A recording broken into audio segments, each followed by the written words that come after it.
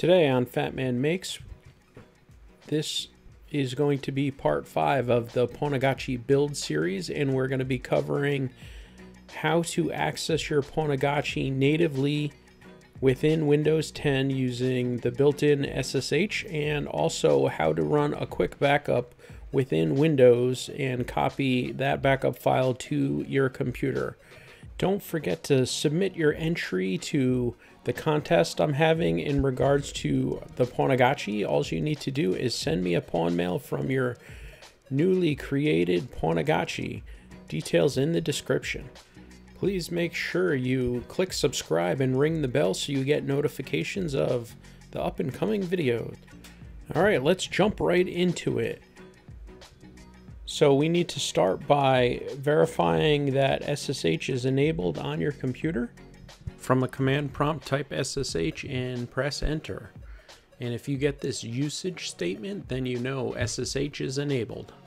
By default, with the newest updates of Windows 10, it should be enabled. If not, then you either need to manually enable it or, better yet, upgrade your version of Windows 10 to the newest release.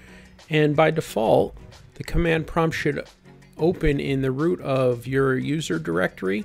We just need to change directory, so cd space dot ssh enter, and that will bring us to the SSH folder.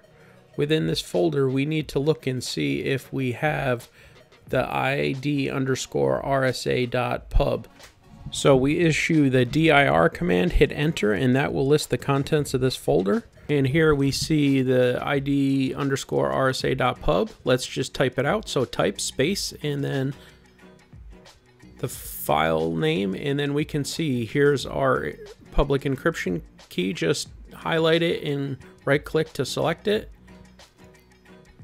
Now we're going to SSH into our Pi. So SSH space pi at 10.0.0.2, hit enter. We should get the login field here. Type in your password and hit enter. First thing we want to do is do an ls space dash la and that will show us all the files in our home directory. We don't see a .ssh so we're going to make it mkdir space dot ssh, hit enter. Then change directory cd space dot ssh, hit enter. Now we need to create a file, so nano space authorized underscore keys, hit enter. And we can see this is a blank file. We're just going to paste what we copied before, the public key from our computer. And save, yes to save and exit. Now we're back on our local machine. And you see here, we just tried to log in and we weren't prompted for a password. It automatically logged us into SSH without having to type a password. So tested it and now we know it works. I see a lot of questions and confusion out there about how exactly to make a backup of your Pwnagotchi or how do I get my handshake files off of my Pwnagotchi? The built-in backup script isn't designed to function within Windows. It leaves a lot of people questioning how exactly do they get the files off their Pwnagotchi or how do they do a backup. This video provides a simple solution to that question. Let's take a look and see how it's done.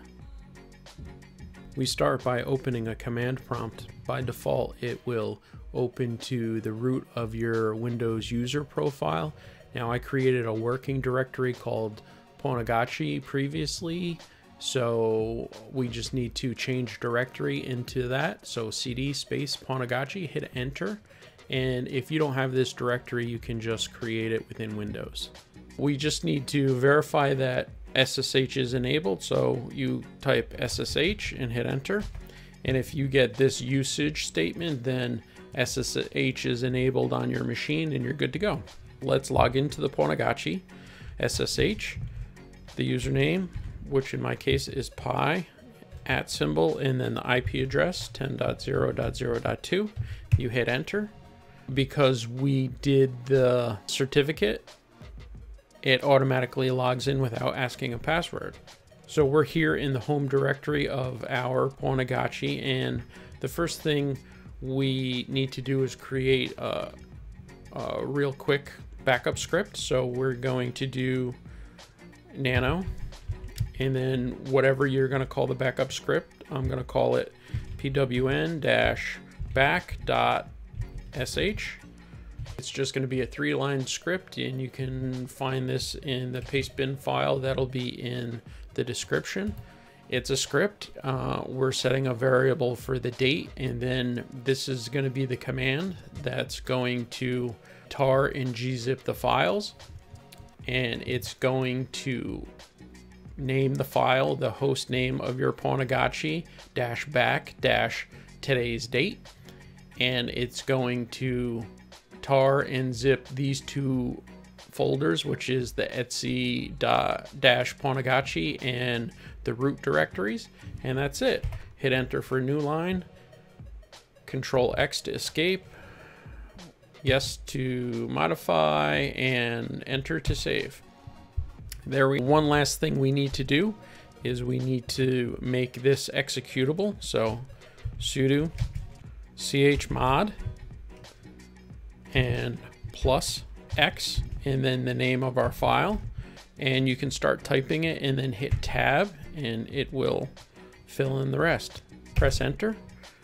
Okay, no error there, so that means that that command is good, and we can verify that by doing an, an ls space dash l, and we can see here it's read, write, and execute for the user. So now we want to run a backup, and we can run that backup by doing a sudo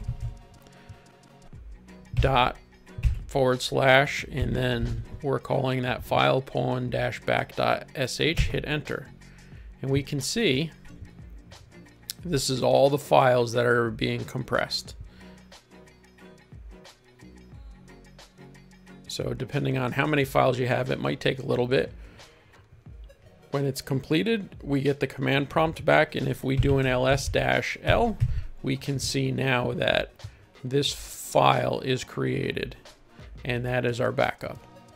Um, so I would, real quick, let's just open a notepad. Here we are. And I'm just gonna copy this file because we're gonna need that in the future. There we go. All right, and we can log off of the Pwnagotchi. We do that by typing exit, hitting enter.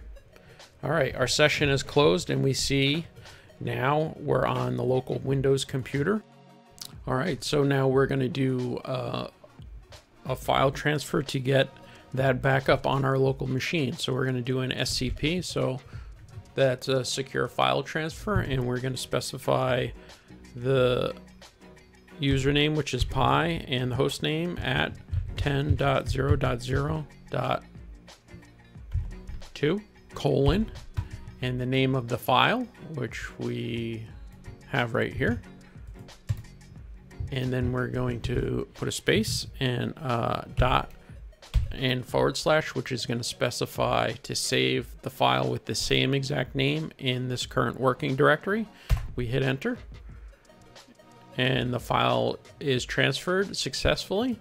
And now let's just take a look at that file. So we're in the root directory, Pwnagotchi, and we can see here is that file. It's a .tar.gzip. So again, um, from the other videos, uh, you need to be running either 7-zip or WinRAR. This machine has WinRAR on it, so if we double click, we can open that gzip file and we see an Etsy and a root here and we can select them and drag and drop to extract.